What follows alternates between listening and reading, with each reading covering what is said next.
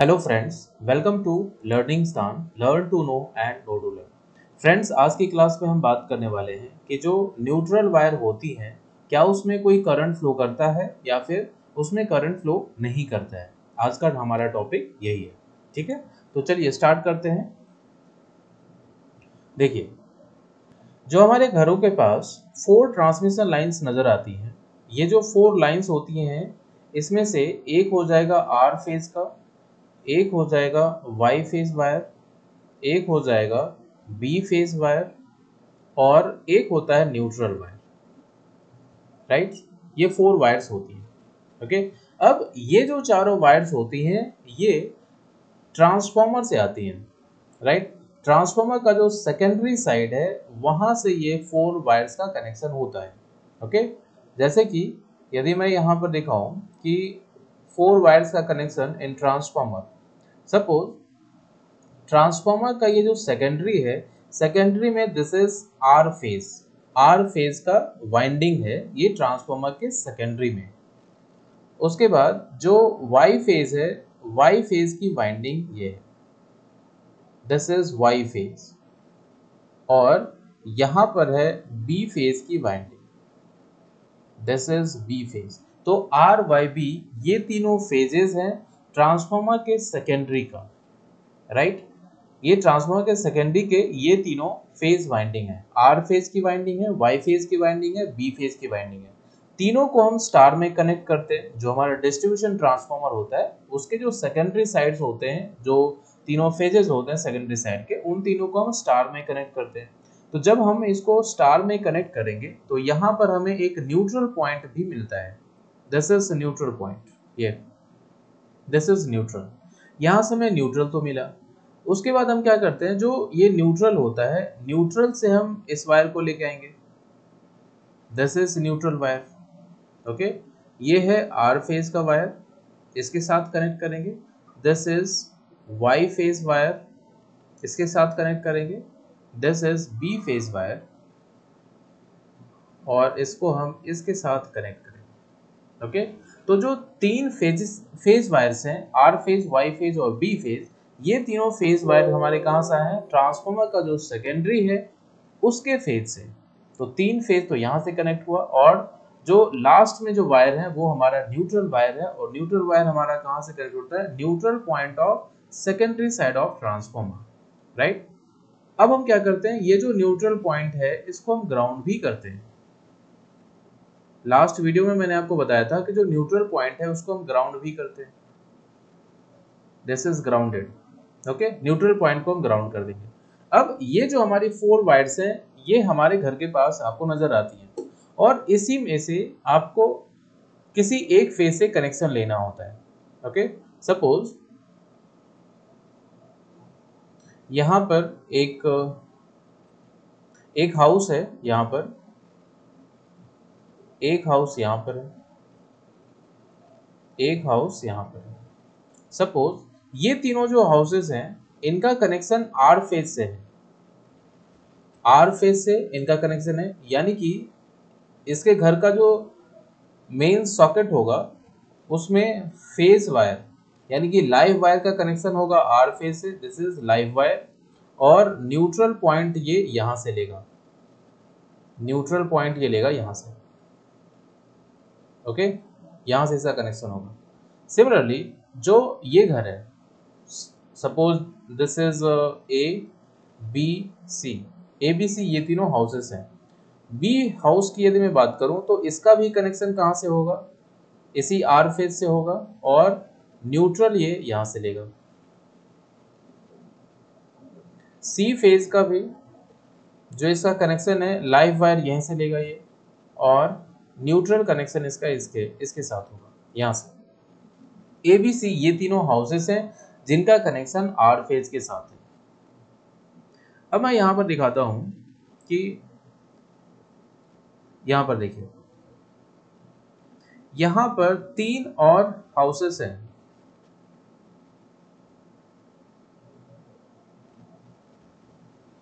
तीन हाउसेस और भी हैं डी ई एफ़ इन तीनों का कनेक्शन बी फ़ेज़ से है। तो ये क्या करेगा?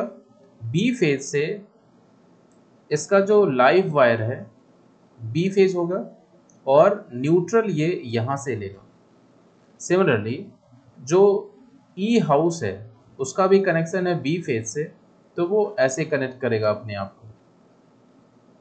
जो एफ़ हाउस है, उसका भी कनेक्शन बी फ़ेज़ से है। इट मींस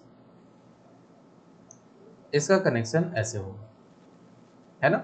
तो तीन हाउसेस को कनेक्ट किया गया है आर फ़ेज़ से, तीन हाउसेस को कनेक्ट किया गया है बी फ़ेज़ से और फिर तीन और हम हाउसेस को कंसिडर कर लेते हैं, जिसको हम कनेक्ट करेंगे किसके साथ? वाई फ़ेज़ के साथ। देखो, यहाँ पर मैं तीन और हाउसेस को कंसिडर करता हूँ।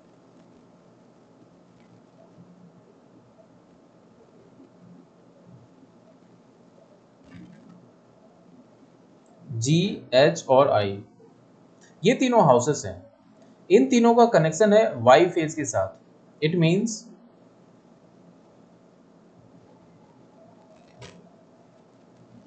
लाइव वायर यहाँ से लेगा न्यूट्रल यहाँ से आएगा। लाइव वायर यहाँ से लेगा न्यूट्रल इसका यहाँ से कनेक्ट होगा। लाइव वायर इसका यहाँ से होगा न्यूट्रल ये यहाँ से कनेक्ट करेगा। सो so, यहाँ पर आपको पूरा पिक्चर क्लियर हो गया होगा कि जो हमारी सोसाइटी है उसमें जितने भी हाउसेस होते हैं उसको लगभग इक्वली हम डिवाइड करते हैं। राइट इक्वली हम लोग डिवाइड करते हैं। ये काम होता है इलेक्ट्रिसिटी बोर्ड का। ये डिसाइड करना है कि कितने हाउसेस को हम कनेक्ट करेंगे आर फ़ेज़ के साथ कितने को वाई फ़ेज़ के साथ किस और कितने घरों का जो कनेक्शन है, वो बी फ़ेज़ के साथ होना चाहिए राइट वो लगभग इक्वली वो डिवाइड कर लेते हैं। लेकिन इसके बावजूद भी, जो ये लोड है टोटल लोड सपोज़ ये जो तीन घर हैं, इन तीनों घरों में जितने भी इक्विपमेंट्स इलेक्ट्रिकल इक्विपमेंट जितने भी यूज़ हो रहे हो, सबका जो पावर रेटिंग है और इन तीनों घरों में जितने यूज़ हो रहे हो इलेक्ट्रिकल इक्विपमेंट उनका जो पावर रेटिंग है और ये तीनों जो घर हैं, इन तीनों का जो टोटल पावर रेटिंग होगा, क्या ये तीनों प्रैक्टिकली इक्वल होगा? ऐसा प्रैक्टिकली ऐसा पॉसिबल नहीं होता है ओके तो यहाँ पर हम क्या करेंगे? एक हम आइडियल केस लेंगे कि जितने भी हाउसेस को कनेक्ट किया गया है आर फ़ेज़ के साथ, सबका पावर रेटिंग सेम है। वाई फ़ेज़ के साथ भी और बी फ़ेज़ के साथ भी। जितने घर को आर फ़ेज़ के साथ कनेक्ट किया गया, जितने घर को वाई फ़ेज़ के साथ कनेक्ट किया गया और जितने घरों को बी फ़ेज़ के साथ कनेक्ट किया गया, सभी का जो पावर रेटिंग है वो सेम है। तो एक हम ये केस लेते हैं, ये हमारा आइडियल केस होता है बट प्रैक्टिकली ऐसा होता नहीं है। तीनों घरों का, तीनों जो फेजेस हैं, इन तीनों फेजेस के साथ जितने भी इक्विपमेंट्स कनेक्टेड हैं, जितने भी घरों के इक्विपमेंट कनेक्टेड हैं सारे के जो पावर रेटिंग होंगे, सभी डिफरेंट होंगे सेम नहीं होंगे। तो ये हमारा प्रैक्टिकल केस होगा ओके सो पहले हम यहाँ पर आइडियल केस देख लेते हैं।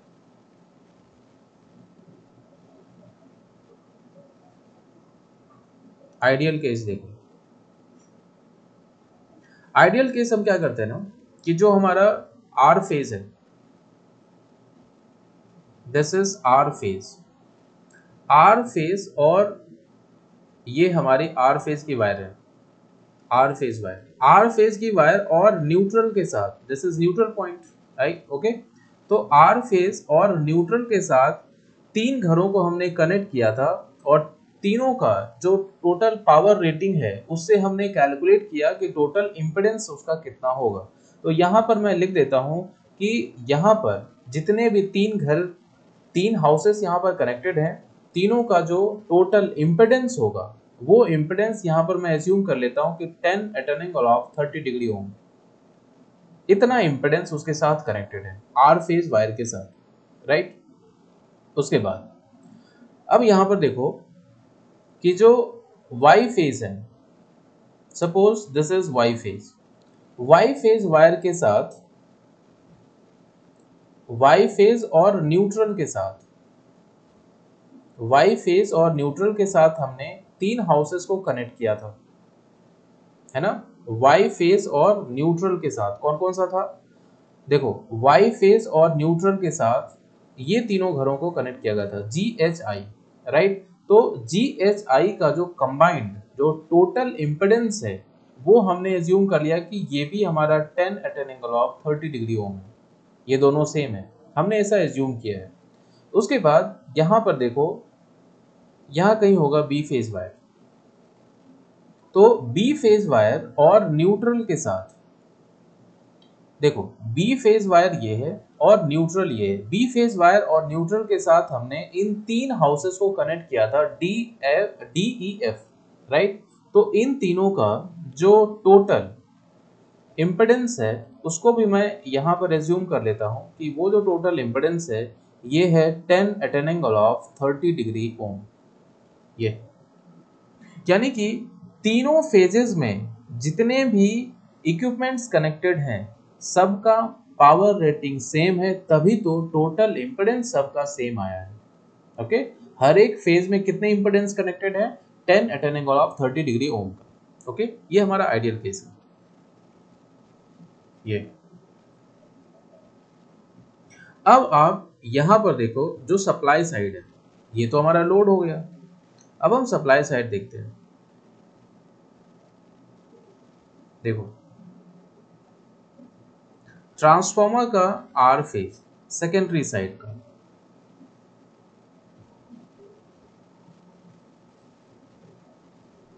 Y phase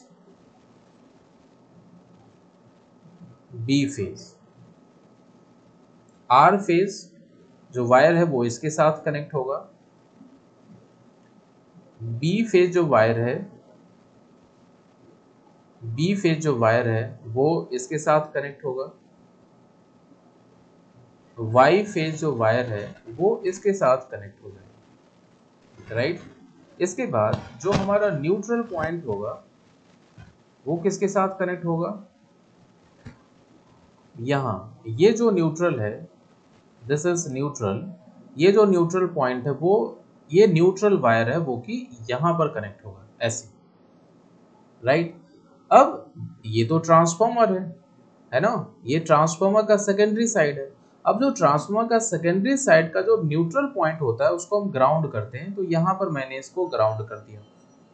ग्राउंड कर लिया इट मीन्स यहाँ का वोल्टेज ग्राउंड का वोल्टेज तो हम एज्यूम करते हैं ज़ीरो वोल्ट तो ये जो न्यूट्रल पॉइंट है, यहाँ का वोल्टेज कितना हो जाएगा? यहाँ का वोल्टेज भी होगा ज़ीरो वोल्ट ओके अब देखो, ये तीन फेजेस हैं। तीन फ़ेज़ में जो वोल्टेजेस होंगे, उसको मैं यहाँ पर दिखाता हूँ कि वोल्टेजेस हमारे कितने कितने होंगे। देखिए, जो आर फ़ेज़ है, एक फ़ेज़ का जो वोल्टेज है, इसको मैं एज्यूम कर लेता हूँ 220 वोल्ट जनरली 220 वोल्ट ही होता है, लेकिन इसके साथ एंगल भी आएगा। एंगल इसका मैं एज्यूम कर लेता हूँ ज़ीरो डिग्री और जो वाई फ़ेज़ है वाई फ़ेज़ का जो वोल्टेज होगा प्लस माइनस ये हो जाएगा 220 वोल्ट बट इसका जो एंगल होगा 120 डिग्री से लैग करेगा। तो माइनस वन उसके बाद जो हमारा बी फ़ेज़ है बी फ़ेज़ का जो वोल्टेज होगा, जो फ़ेज़ फ़ेज़ कहने का मतलब कि जो बी फ़ेज़ की जो वाइंडिंग है ट्रांसफॉर्मर की जो वाइंडिंग है, उस वाइंडिंग में वोल्टेज वो ईएमएफ e इंड्यूस होगा, है ना? जो वोल्टेज इंड्यूस होगा, मैं उसकी बात कर रहा हूँ। वो कितना होगा? यहाँ पर होगा 220 twenty at an angle of plus 120 degree ये बी फ़ेज़ की वाइंडिंग में इतना वोल्टेज इंड्यूस हो रहा है। राइट अब आपने क्या किया है कि ये जो हमारा न्यूट्रल वायर है न्यूट्रल वायर के साथ आपने आपने यहाँ पर कनेक्ट किया है। तो देखो, यहाँ पर जो हमारा ट्रांसफॉर्मर साइड है, यहाँ का जो न्यूट्रल है, ये ज़ीरो वोल्ट है। तो यहाँ, ये जो हमारा न्यूट्रल है, यहाँ का वोल्टेज कितना होगा? यहाँ का वोल्टेज भी होगा जाएगा। ज़ीरो वोल्ट हो जाएगा। ओके यहाँ का वोल्टेज है ज़ीरो वोल्ट अब देखो आर फेस और न्यूट्रल के अक्रॉस यहाँ पर वोल्टेज है 220 at an angle of zero degree तो यहाँ पर जो आर फ़ेज़ है लोड साइड की मैं बात कर रहा हूँ आर फ़ेज़ और न्यूट्रल के बीच में जो वोल्टेज आएगा, ये भी कितना होगा? ये भी हो जाएगा 220 at an angle of zero degree right similarly जो वाई फ़ेज़ है वाई फ़ेज़ और न्यूट्रल के बीच में वही वोल्टेज आएगा जो कि ट्रांसफॉर्मर के वाई फ़ेज़ और न्यूट्रल के बीच में वोल्टेज है। यहाँ पर जो वोल्टेज है, यह है 220 twenty at an angle of minus one so यहाँ भी वोल्टेज हमारा कितना आएगा? यहाँ आएगा 220 angle minus one degree similarly जो बी फ़ेज़ है, इसके क्रॉस कितना वोल्टेज आएगा? ये आएगा 220 at an angle plus 120 degree ये इतना वोल्टेज आपको नज़र आएगा। राइट अब ये तो हमारा लोड साइड है, जो कि मैंने ब्लू इंक से आपको दिखाया है, वो हमारा लोड साइड है। अब लोड साइड में देखो कि जो आर फ़ेज़ से कनेक्शन है, इसमें जो करंट फ्लो करेगा, ये कौन सा करंट होगा? आई आर यहाँ पर देखो, यहाँ पर जो करंट आ रहा है this current is I R R phase current यहाँ जो करंट जा रहा है this current is I Y Y phase current और यहाँ जो करंट जा रहा है this current is I B B phase current right इन तीनों करंट को हम फाइंड आउट करेंगे। तीनों फ़ेज़ करंट को फाइंड आउट करने के बाद, जो हमारा न्यूट्रल पॉइंट है यहाँ लोड का जो न्यूट्रल पॉइंट है दिस इज़ लोड लिख देता हूँ यहाँ पर ब्लू इंक से जो भी मैंने दिखाया है, ये है लोड साइड और जो हमारा रेड इंक से यहाँ पर दिखाया गया है, ये है transformer side right so load side में हम बात कर रहे हैं आर फ़ेज़ करंट है आई आर वाई फ़ेज़ का करंट है आई वाई बी फ़ेज़ का करंट है आई बी इन तीनों करंट्स को फाइंड आउट करेंगे। फाइंड आउट करने के बाद जो लोड की साइड का जो न्यूट्रल पॉइंट है, इस पॉइंट पर हम केसीएल अप्लाई करेंगे। Kirchhoff's current law right so देखो, सबसे पहले क्या करते हैं ना फ़ेज़ करंट को हम फाइंड आउट कर लेते हैं। आर फ़ेज़ का current I R I R कितना होगा? जो हमारा आई आर करंट है, वो कितना होगा? यहाँ पर देखो, जो वोल्टेज है 220 twenty at an angle of zero degree और इम्पिडेंस कितना है? 10 at an angle of 30 degree तो करंट यहाँ पर हो जाएगा 220 twenty at an angle of zero degree divided by impedance 10 at an angle of 30 degree it means यहाँ पर जो करंट आएगा वो कितना आएगा? 22 two ampere at an angle of minus thirty degree तो इतने एम्पियर का यहाँ पर करंट होगा। ये करंट हमारा फ्लो करेगा किसमें आर फ़ेज़ में। अब वाई फ़ेज़ की यदि मैं बात करूँ वाई फ़ेज़ करंट ये कितना होगा? वाई फ़ेज़ के क्रॉस का वोल्टेज कितना है? 220 at an angle of minus one degree divided by Y phase से जो इम्पेडेंस कनेक्टेड है, वो कितना है? Ten at an angle of plus thirty degree so ये करंट हो जाएगा 22 at an angle of minus 150 degree इतने एम्पियर का यहाँ पर करंट होगा। Okay okay? अब देखो, जो बी फ़ेज़ का करंट है, वो कितना होगा? बी फ़ेज़ करंट हो जाएगा बी फ़ेज़ का voltage 220 at an angle of plus 120 degree divided by impedance which is 10 at an angle of 30 degree जब आप इसको कैलकुलेट करोगे तो ये कितना होगा? 22 at an angle of 90 degree है ना? यानी कि तीनों फ़ेज़ करंट आपको पता चल चुका है। अब सिर्फ़ आपको क्या करना है? जो हमारा न्यूट्रल पॉइंट है, वहाँ पर हम अप्लाई करेंगे नोडल एनालिसिस या फिर आप कहो तो वहाँ पर हम केसीएल अप्लाई करेंगे। देखिए, तीन फ़ेज़ आपको करंट पता चला है। यहाँ से ये करंट है I R twenty two at an angle of minus thirty degree था। इधर से करंट आ रहा है this is Y phase current I Y 22 at an angle of minus one fifty degree this और यहाँ से करंट आ रहा है बी फ़ेज़ का करंट है I B twenty two at an angle of 90 degree ये तीनों करंट हमारे इस पॉइंट पर मिल रहे हैं और ये जो पॉइंट है, ये क्या है? This is neutral point right this is neutral point अब इस न्यूट्रल पॉइंट पर हम अप्लाई करते हैं केसीएल ठीक है? Apply Kirchhoff's current law at neutral point जो न्यूट्रल पॉइंट होगा लोड का, वहाँ पर हम केसीएल अप्लाई करने वाले हैं। केसीएल हम अप्लाई करेंगे तो तीन इनकमिंग करंट्स हैं। अब ये जो हमारा न्यूट्रल पॉइंट है, यहाँ से आपने देखा होगा कि न्यूट्रल न्यूट्रल पॉइंट से एक वायर कनेक्टेड है ट्रांसफार्मर के सेकेंडरी में राइट तो तीन फ़ेज़ से इनकमिंग इनकमिंग करंट आ रहा है उस न्यूट्रल पॉइंट के लिए राइट तो sum of the all incoming currents equal to outgoing current यानी कि मैं यहाँ पर यदि कहूँ ये जो न्यूट्रल पॉइंट है न्यूट्रल जो वायर है this is the neutral wire इस न्यूट्रल वायर में यहाँ पर करंट फ्लो करता है आई एन तो हमें आई एन को फाइंड आउट करना है कि कितना होगा न्यूट्रल करंट कितना होगा। न्यूट्रल वायर में फ्लो होने वाला करंट कितना होगा। इसको फाइंड आउट करेंगे। तो outgoing current neutral current is equal to sum of all the incoming currents I R I Y and I B इन तीनों को ऐड कर लो। यही हो जाएगा न्यूट्रल करंट राइट सो यहाँ से न्यूट्रल करंट को हम लिखेंगे आई आर कितना है? 22 at an angle of minus thirty degree this ampere Y phase का करंट कितना है? 22 at an angle of minus 150 degree ampere और प्लस बी फ़ेज़ का करंट है 22 at an angle of 90 degree ampere इन तीनों को आप कैलकुलेटर की हेल्प से ऐड कर लो। ऐड करने के बाद आपको न्यूट्रल करंट की वैल्यू मिलेगी। 22 at an angle of minus 30 degree plus 22 at an angle of minus 150 plus 22 at an angle of 90 degree. तीनों को ऐड करने के बाद आपको आंसर मिलेगा ज़ीरो ज़ीरो जो न्यूट्रल वायर है, उसमें ज़ीरो करंट फ्लो कर रहा है। ये केस था हमारा आइडियल आइडियल केस में आपने देखा कि जो न्यूट्रल वायर है, उसमें ज़ीरो अम्पेयर का करंट फ्लो करता है. इट मींस न्यूट्रल वायर में कोई भी करंट फ्लो नहीं करता है। लेकिन जो हमारा फ़ेज़ वायर है, उसमें तो करंट फ्लो करेगा ही राइट तीन फेजेस हैं, तीनों फ़ेज़ में आपको यहाँ पर करंट फ्लो करता हुआ नज़र आएगा। यदि आप यहाँ पर मल्टीमीटर लगा के आप जो ट्रांसमिशन लाइन्स हैं, उसमें यदि आप मल्टीमीटर लगा के चेक करोगे या फिर करंट ट्रांसफार्मर लगा के अगर आप उसको चेक करोगे, बेहतर होगा कि करंट ट्रांसफार्मर लगाना है। और यहाँ पर अगर आप चेक करोगे तो जो आर फ़ेज़ की वायर है, उसमें करंट फ्लो करेगा। According to this question R phase में कितना करंट फ्लो कर रहा है? बाईस आम्पियर का करंट इसमें फ्लो कर रहा है। जो वाई फ़ेज़ है, इसमें भी बाईस आम्पियर का करंट फ्लो करता है। जो बी फ़ेज़ है, उसमें भी बाईस आम्पियर का करंट फ्लो करता है। इन तीनों फ़ेज़ वायर में करंट फ्लो कर रहा है बट जो न्यूट्रल वायर है, इसमें कोई भी करंट फ्लो नहीं करता है। ज़ीरो आम्पियर ओके ये तो था हमारा आइडियल केस आइडियल केस तब था जबकि तीनों ही फेजेस से जितने भी हाउसेस को कनेक्ट किया गया है, सारे हाउसेस में जितने भी इक्विपमेंट्स कनेक्टेड हैं इलेक्ट्रिकल इक्विपमेंट्स वो सभी सेम पावर को ड्रॉ करते हों।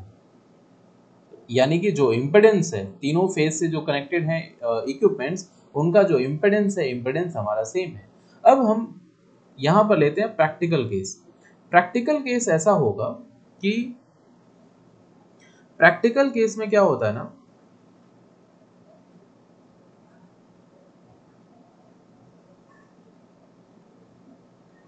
कि तीनों फ़ेज़ पर इक्वल लोड नहीं होगा right R phase Y phase B phase इन तीनों फ़ेज़ पर इक्वल लोड नहीं कनेक्ट होगा।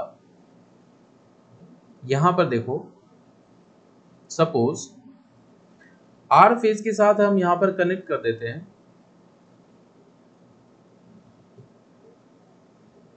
This is R phase R phase के साथ जितने भी इक्विपमेंट्स कनेक्टेड हैं, इन सभी का सपोज़ लोड हमने ले लिया कि इसका जो इम्पिडेंस होगा 10 at an angle of 45 degree है, इसका इम्पेडेंस है राइट जो वाई फ़ेज़ है वाई फेस के साथ जितने भी इक्विपमेंट्स कनेक्टेड हैं वाई फ़ेज़ से जितने भी इक्विपमेंट्स कनेक्टेड हैं, उन सभी का जो टोटल इम्पेडेंस होगा, वो हो जाएगा 15 at an angle of 30 degree ऐसा है।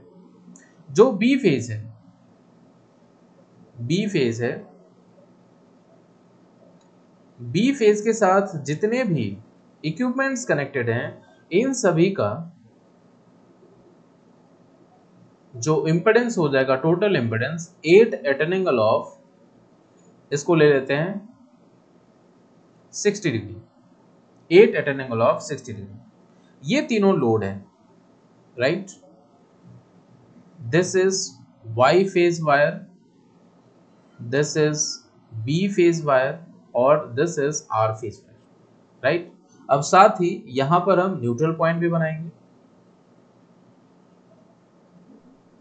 न्यूट्रल पॉइंट से पहले मैं यहाँ पर ट्रांसफॉर्मर का सेकेंडरी दिखा देता हूँ।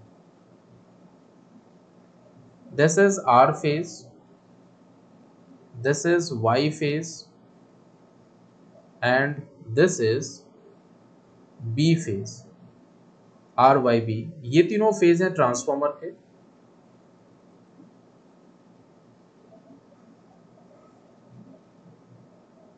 देखो आर फ़ेज़ को इसके साथ कनेक्ट किया गया वाई फ़ेज़ को इसके साथ कनेक्ट करेंगे और जो बी फ़ेज़ है, उसको बी फ़ेज़ के साथ ऐसे कनेक्ट करेंगे। Right right? और यहाँ पर जो हमारा न्यूट्रल वायर होगा न्यूट्रल पॉइंट ऑफ़ ट्रांसफॉर्मर इसके साथ हम ये न्यूट्रल वायर लेके आएँगे और यहाँ पर कनेक्ट होगा। दिस इज़ न्यूट्रल ये क्या है? This is neutral wire neutral wire है।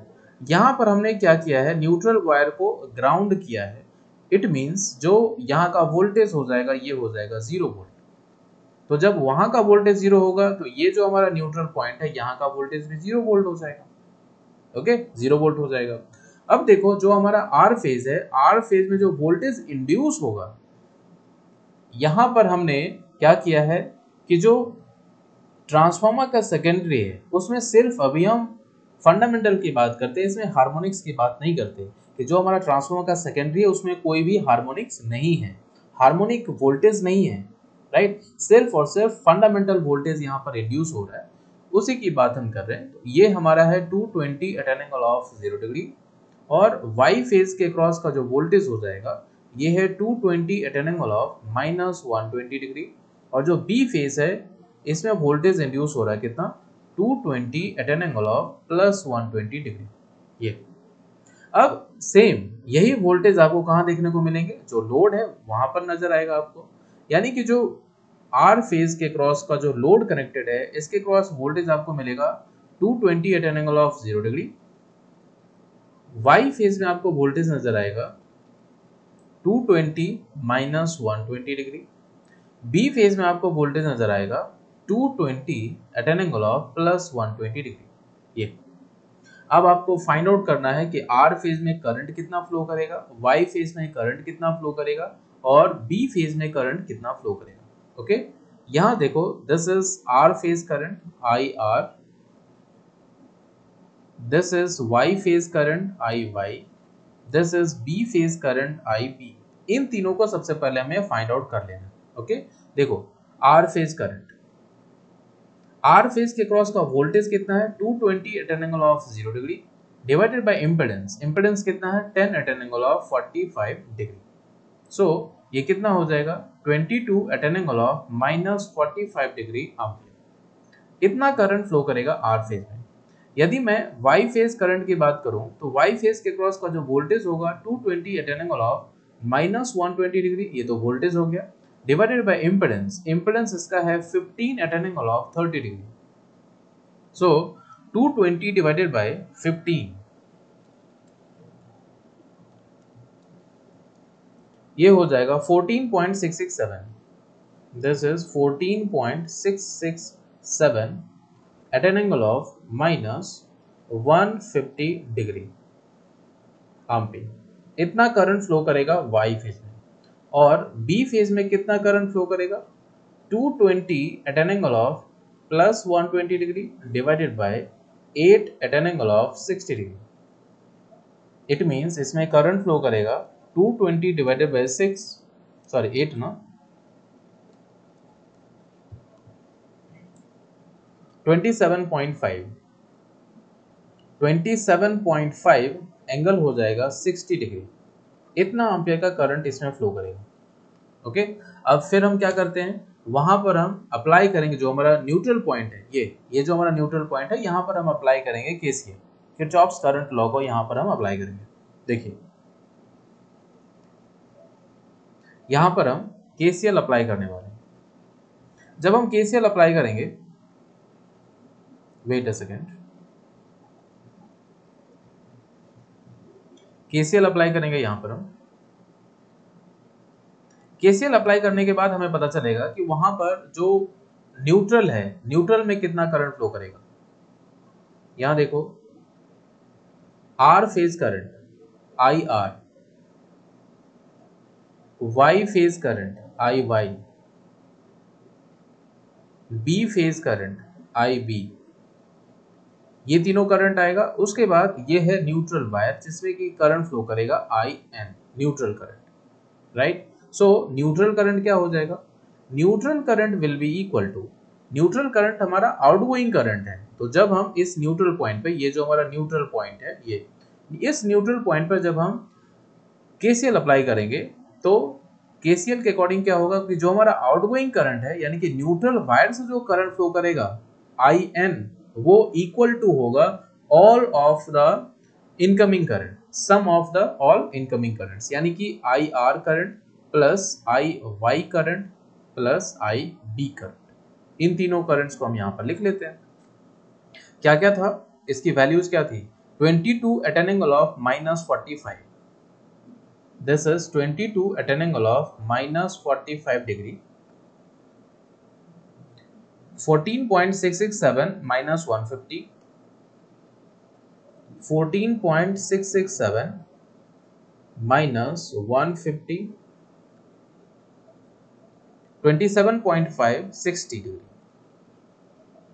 27.5 at an angle of 60 degree इन तीनों को बस हमें ऐड करना है वही करंट हो जाएगा न्यूट्रल वायर में फ्लो होने वाला करंट राइट जब हम तीनों को ऐड करते हैं 22 at an angle of minus 45 plus 14.667 angle minus 150 minus 150 plus 27.5 angle 60 degree जब हम इन तीनों को ऐड करेंगे तो ऐड करने के बाद जो करंट की वैल्यू आपको मिलेगी 16.63 at an angle of 3.2 degree यहाँ पर आपको देख, आपको देखने से ये पता चल रहा होगा कि जो न्यूट्रल वायर है, यहाँ पर करंट फ्लो कर रहा है। कितना करंट फ्लो कर रहा है? 16.63 एम्पीयर का करंट फ्लो कर रहा है। यानी कि जो हमारा ये था प्रैक्टिकल केस था इसमें, जो न्यूट्रल करंट है, ये ज़ीरो नहीं है। 16.63 एम्पीयर का करंट इसमें फ्लो कर रहा है। राइट यानी कि जो भी हमारे यहाँ पर फेजेस हैं फ़ेज़ वायर जो है आर फ़ेज़ देखो, जो हमारा आर फ़ेज़ का करंट है आर फ़ेज़ में कितना करंट फ्लो कर रहा है? 22 एम्पीयर का करंट फ्लो कर रहा है। वाई फ़ेज़ में करंट कितना फ्लो कर रहा है? वाई फ़ेज़ का जो वायर है, इसमें करंट फ्लो करता है 14.67 एम्पीयर जो बी फ़ेज़ है, इसमें करंट कितना फ्लो कर रहा है? बी फ़ेज़ में करंट फ्लो करता है 27.5 एम्पीयर राइट और जो हमारा न्यूट्रल वायर है, इसमें ज़ीरो करंट फ्लो नहीं कर रहा है। इसमें कितना करंट फ्लो कर रहा है? इसमें 14 पॉइंट सॉरी 16.63 एम्पीयर इसमें जो करंट फ्लो करता है 16.63 एम्पीयर का करंट इसमें फ्लो कर तो ओवरऑल आपको क्या समझ में आया? इस पूरे लेक्चर का जो कंक्लूजन है, वो ये है कि आइडियली यदि मैं बात करूँ कि जो न्यूट्रल वायर है, उसमें से कोई भी करंट फ्लो नहीं करेगा। ये आइडियल केस है कि उसमें कोई करंट फ्लो नहीं करेगा। बट बट प्रैक्टिकली ऐसा पॉसिबल नहीं होता। प्रैक्टिकली न्यूट्रल वायर में भी करंट फ्लो करते हैं। और न्यूट्रल वायर में करंट फ्लो करने का जो रीजन है, वो ये है कि जो हमारा ट्रांसफॉर्मर है, ट्रांसफॉर्मर से जो भी लोड एक, लोड हमारे कनेक्टेड है, वो अनबैलेंस लोड है, बैलेंस्ड लोड नहीं होता है। जो तीन फेजेस हैं, इन तीनों फ़ेज़ पर इक्वल लोडिंग नहीं होती है डिफरेंट डिफरेंट लोडिंग होती है राइट तो तीनों फेजेस पर डिफरेंट लोडिंग होने की वजह से यहाँ पर आपको दिखाई दे रहा है कि न्यूट्रल वायर में करंट फ्लो करता है okay so it's all about this lecture I hope आपको ये लेक्चर पसंद आया होगा। So thank you so much and bye bye